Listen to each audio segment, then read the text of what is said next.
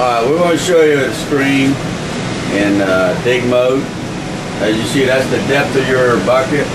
When I drop it down, the depth comes up.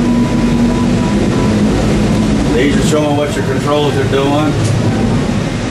This is your swing, your drag, and your hoist. You Until when I had the levers on, they turn black. This is your drag, tells how far you're dragging in. This tells you how much rope you got out on your hoist. As you can see, it's a touch screen, so we can move our fingers around. It'll do everything for us. You can change the maintenance, see what your rope hours are at.